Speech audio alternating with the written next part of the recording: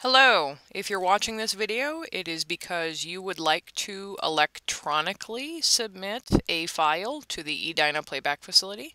Uh, that would be a file of your television program as opposed to bringing in a DVD. And to do that, we are we are going to start with a DVD and then we are going to do something called ripping a file from that DVD. Uh, in order to do that, we are going to need a program to rip your DVD.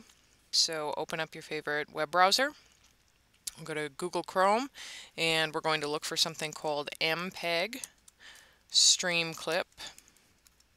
Uh, and we obviously see it coming up there, but just just to be safe, we're gonna we're gonna put in download uh, as well. And um, one of your first entries that you get back, if not the first, uh, will be this link for squared5.com MPEG stream clip video converter. That's what we're looking for. Go ahead, download the Windows version. Uh, because if you're watching this video, we are on Windows. And you will see a couple different links. Go with this top one. And you can see it is downloading here in the corner. I just went ahead and clicked this button uh, down here where the downloads are and that will open up the folder where that, that file uh, basically just went. And if you're confused as to where your downloads go, um, they will almost always go into your downloads folder. So another way to get there, if you go to your start menu here and you go up to computer, you open up this window and then somewhere in this left column you should see downloads. And here we go. Here's MPEG stream clip. We're gonna we're gonna double click this. And uh, here here it is in all its glory. What I would like you to do is grab this executable file with your mouse and drag it over to your desktop right here and that is what your program icon will look like that allows you to convert a DVD to a program file. You can go ahead and close this window now and you can go ahead and uh, close this as well. You could also feel free to delete the rest of the contents of that if of that file if you'd like if you'd like to um, keep things clean here Go ahead and just delete that because all we really needed from that is, um, is this application here. This will be the first time that we run this, this program, or on the first time we run this program, you will more than likely see this security warning. Um, ignore it, it's fine. You're gonna be fine. Uncheck this little box, says always ask before opening this file. And by unchecking this box, we don't have to see this every time we open up this program. Go ahead and click Run. Uh, I happen to know that in order for this free program to work, you are actually going to have to download yet another program uh, before you can actually start converting your DVDs. To show you what I mean, I have placed a DVD into this computer right now, and I'm going to open it up. I'm going to go to Open DVD. I'm going to go to this. I'm going to open up the DVD I have in here. Click OK. This is what you're going to see.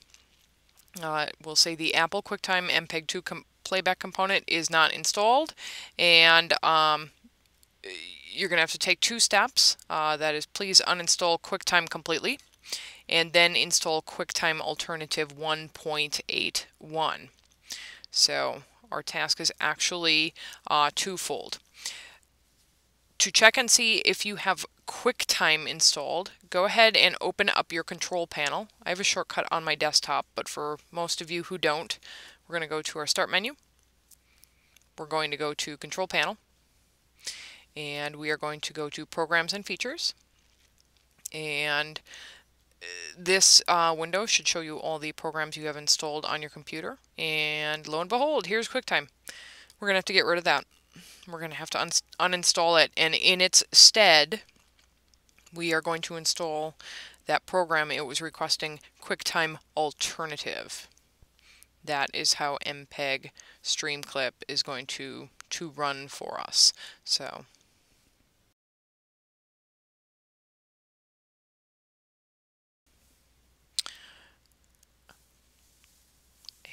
and it is gone. So we're going to go ahead close out our control panel. We're going to open our browser back up and we are going to type in download QuickTime alternative 1.81 and you'll see it right there hit enter and um, there are going to be a number of, of places that, that have it available for, for download. Um, go ahead and look for the one that is, says File Hippo. This is, this is consistently where I've downloaded it. Sometimes these free file repositories can look a little confusing in that they will have, you know, a big green download button next to a, a download button for something else, etc., uh, etc. Et so do be careful about um, what download button you're you're hitting. This is what we want: QuickTime Alternative 1.81, and over here. Uh, so this is one of the reasons I'd, I'd like you to go to File Hippo as well. I happen to know that this is the download button for QuickTime Alternative 1.81. So we're going to go ahead, we're going to click that, and your program is now downloading. And here it goes. Uh, you can see the name of that file, QuickTimeAlt181.exe. Some, if you were to have clicked on a download button like this, uh, something that, that wasn't the correct one, um, the file you're downloading would, would not be what you meant to download, essentially. So let's go ahead and install that. Uh, we can open it right from here. Um, so we're installing it right from, from the browser there. Um, some of you will also know that you could have opened up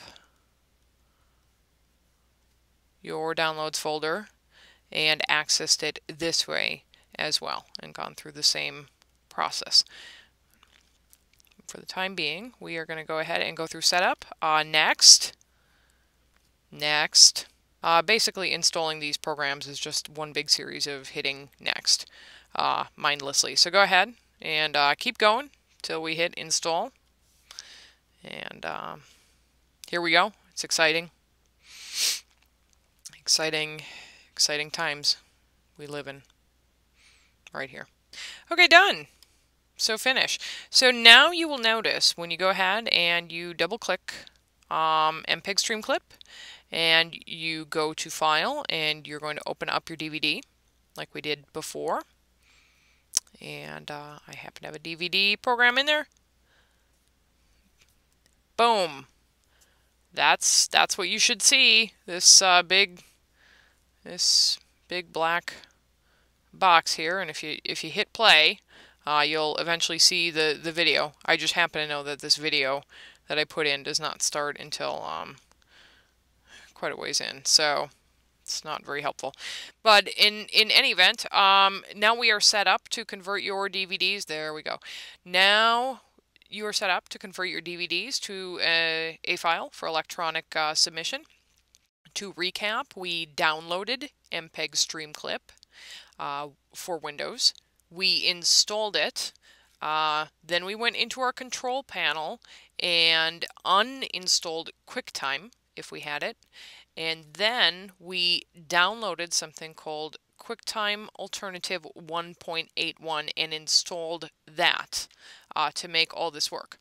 At this point, you might be asking yourself, is it really this complicated? Do you have to go through this many steps to, you know, pull a file from DVD? And the answer is no. There are other programs you can use, paid programs, um, that would would be probably far simpler to, to get up and, and going. Um, at the very least, you wouldn't need to uninstall QuickTime and then reinstall uh, an alternative. The reason we suggest it for you here at the Edina Playback Facility is simple. It's free. And uh, so, for monetary concerns, uh, we know that not not everybody can can go ahead and purchase uh, a program to do this. Secondly, it's for consistency. Um, if if I if we're suggesting MPEG stream clip for you, then if you are having problems, we can also troubleshoot those things for you.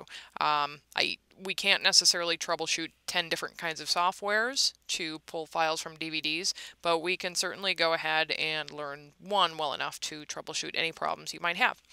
So if you want to actually see how to convert your DVD, go ahead and uh, move on to the next video tutorial, converting your DVD to an external file. Thank you and have a good day.